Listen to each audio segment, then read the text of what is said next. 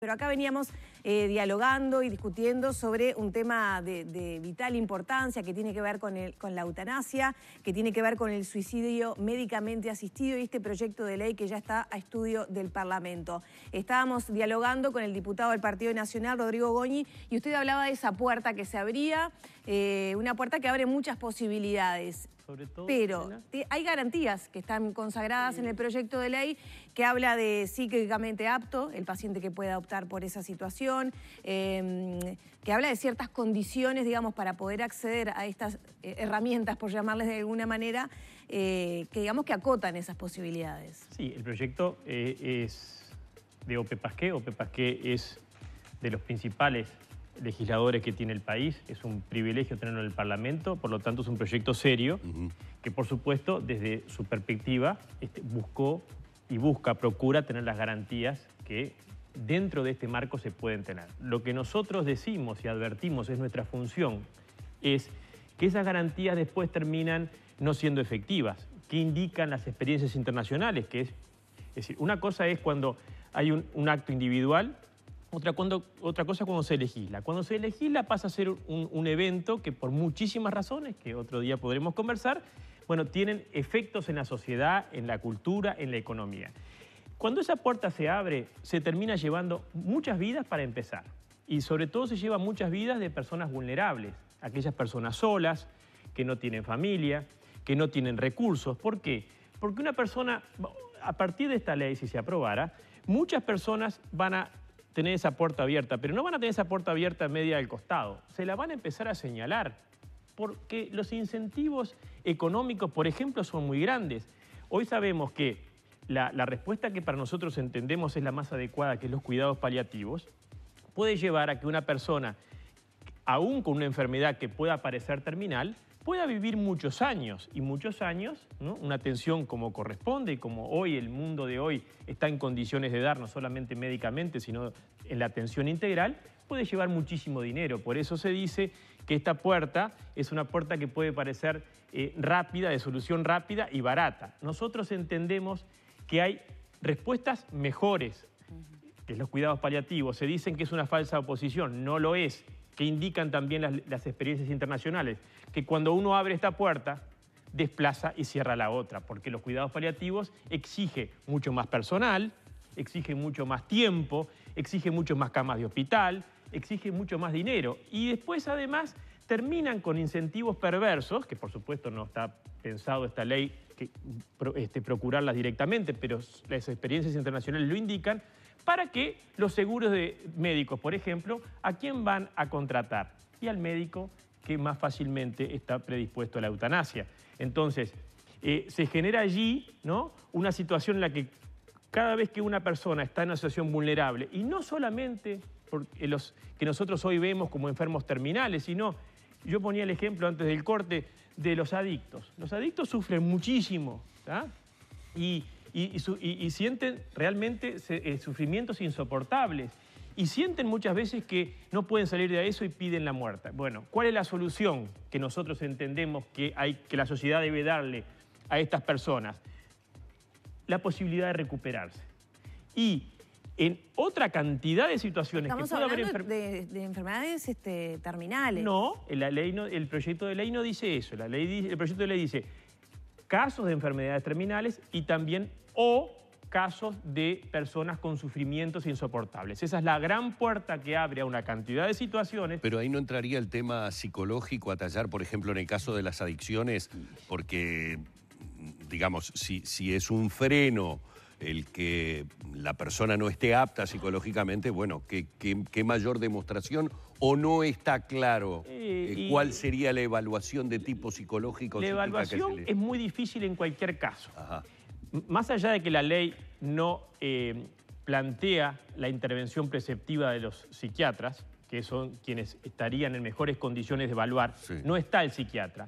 Tampoco está el, especialista en cuidados paliativos, que es la otra persona. ¿Quiénes saben más de esto? Los que están especializados en cuidados paliativos. No está ninguno de estos dos actores en forma preceptiva, tampoco está el comité asistencial de, ética que cada este, institución tiene, la, dejan para después que, que la muerte se produjo. Entonces, nosotros entendemos Primero que no es la respuesta adecuada porque hay otra. Segundo, que abrir esta puerta atenta, va a atentar, y lo decimos sin dramatismo, pero es nuestra función advertirlo porque además es lo que ha pasado en los lugares del mundo que lo han experimentado. Se va a llevar muchas vidas, fundamentalmente de la gente más vulnerable, tremendamente injusto. Va a atentar contra la libertad. Acá se habla de la libertad. Yo te pregunto, Humberto o Lorena, si yo estoy en una situación eh, de enfermedad terminal, tengo un hijo o una hija solo, que no tiene condiciones de apoyarme, de ayudarme. Bueno, esa puerta, también en, el entorno familiar, mismo para el paciente va a decir, yo soy una carga, porque tan carga soy que la ley me da la posibilidad de que médicamente en la propia institución, yo pueda poner fin a mi vida. Entonces, se genera, contrariamente a lo que procura este proyecto de ley, que es, se habla de la dignidad, yo digo, genera una indignidad a un universo mucho mayor de gente. Atenta contra la vida, se va a llevar muchas más vidas de las que en este momento este, esta situación lleva. Y atenta contra la libertad. Eh, realmente limita, va a limitar la libertad de una cantidad de personas que en esa situación van a sentir presiones, coacciones, eh, manipulaciones, abusos. Esta, siempre se dice, y bueno, se ha demostrado, que esta puerta abierta lo que hace es permitir y exponer a estas personas vulnerables a muchos abusos, a muchas manipulaciones que, por más garantía que tú le pongas, eso, como se habla, este, se le ha dado ¿Pero eso llamar no pasa ya? la pendiente rebaladiza. Pasa, pero mucho menos porque el Estado no ha abierto y no ha legalizado mm. y, no ha... Porque el mensaje simbólico de la ley es muy importante. Es decir, cuando la ley dice, el Parlamento Nacional, la representación de los ciudadanos dice, esto es legal, allí se genera, se trivializa, por ejemplo, el suicidio. En un Uruguay donde tenemos los más altos índices de suicidio, bueno, de América Latina ni que hablar, pero del mundo, ¿cuál es la señal acá? y va a terminar alentando el suicidio, porque el suicidio se va a terminar trivializando, porque una ley dice que hay una posibilidad legal de hacerlo. Entonces, nosotros creemos que eh, hay que buscar todas las energías y los recursos en la respuesta que hoy, la ciencia médica hoy, quizás hace un tiempo yo no podría decir esto y, ustedes han recibido a eh, quienes hoy con una enorme vocación y dedicación realizan los cuidados paliativos, eh, hoy la ciencia el estado actual de la ciencia permite eliminar cualquier tipo de sufrimiento a través de la sedación. Entonces, lo que estamos hablando es no de, que no hay otras formas de eliminar el sufrimiento este, que no sea eliminar la vida, sino que estamos hablando de dar la opción de eliminar la vida aunque existen otras eh, respuestas que el Estado es la que tiene que dar. Uno puede decir, y tú podrías preguntarme, eh, Goñi, eh, ¿y ese derecho de la persona existe? Bueno, algunos dicen que sí, algunos dicen que no, que la vida es indisponible, pero lo que acá estamos abordando es si el Estado, que el Estado se va a meter, va a decir, esto es legal. Cuando el Estado interviene, deja de ser un tema individual, empieza a dar señales y empieza a generar espacios para que, por ejemplo, lo que ha sido el pilar fundamental durante dos mil años de la eh, profesión médica, tan noble profesión médica, bueno, este, ¿qué pasa en países donde esto se ha legalizado? Muchos ancianos huyen antes de internarse en un país donde esta puerta está demasiado abierta porque han dejado de creer en los médicos. Y hoy los médicos en Uruguay mayoritariamente, con enorme mayoría, volvieron a reafirmar este pilar básico de eh, la ética médica. Esto es una cuestión ética fundamentalmente, que es no poner fin eh, eh, como decía el juramento hipocrático, no dar ninguna medicamentación mortal a un paciente. Bueno, este proyecto arrasa nada más y nada menos que 2.500, 2.000 y pico de años de historia del pilar básico y el fundamento ético de los médicos. Entonces, me parece que esta ley, este proyecto de ley, genera muchísimo más daños de los beneficios. Como bien se dice, y aquí ¿Qué pasa vale... con la opinión de los uruguayos que según este, opción o, equipos, era la, encuestadora que hizo, hay más de un 80% de los uruguayos que, opina que está a favor del uso de la eutanasia. Cuando en otros países eh, se ha dado el debate, por ejemplo Portugal, cuando se empezó el debate en Portugal, era igual que acá, 80-20. Hoy hay casi mitad y mitad. ¿Por qué?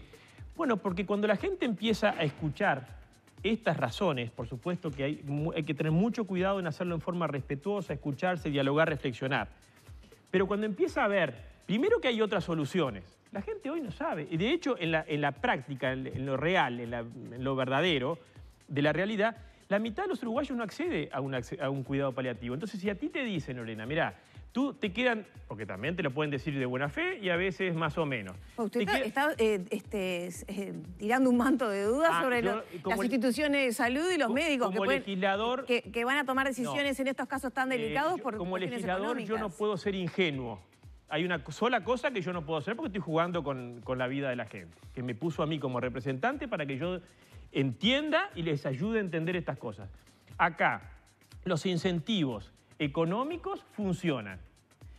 Sobre todo cuando hay una ley que los habilita. Y el mundo entero ha demostrado que cuando se abren estas puertas se genera en forma creciente un número de eutanasia, es decir, un número de muertes creciente, y en muchísimos casos en situaciones de gente muy vulnerable, que es la mayoría, y sobre todo en muchos casos de que esa persona eh, podía vivir mucho tiempo, y lo que yo digo siempre, bueno, yo digo, lo decimos todos, esos momentos finales de la vida, que lo tenemos todos, que es una parte de nuestra vida, que puede ser eh, dos meses, seis meses, un año, eh, si, si uno puede vivirlos sin dolor, con los cuidados paliativos, muchas veces, por lo menos mi experiencia, es que son momentos de enorme valor para la persona, para la familia, para reconciliarse con la familia si tuvo problemas, para reconciliarse con una vida que se termina y la mejor forma, la, la forma más digna de morir, si se puede decir así, es tener ese, ese, tiempo, que no te lo quiten por una eutanasia este,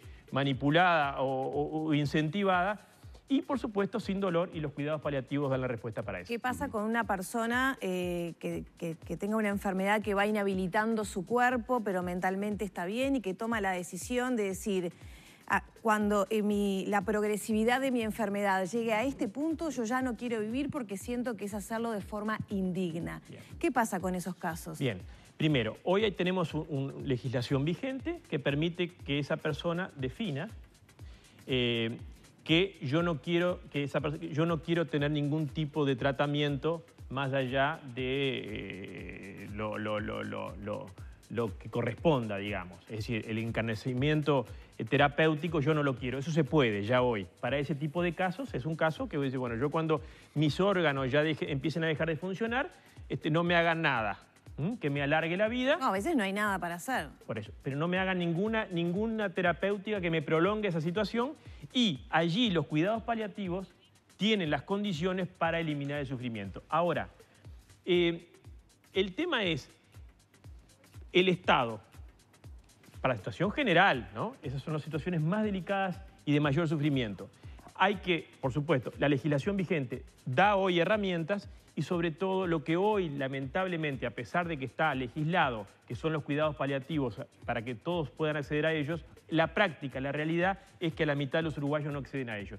Y hay que poner allí todas las energías, porque si abrimos esta puerta, que puede estar muy decorada, que puede parecer fácil, que en el fondo hay que, hay que decirlo con, crudeza, es la más barata no es la más adecuada, no es la más humana a nuestra manera de entender. Hay otras opciones mejores donde sí el Estado tiene mucho para hacer y es la respuesta que debe dar.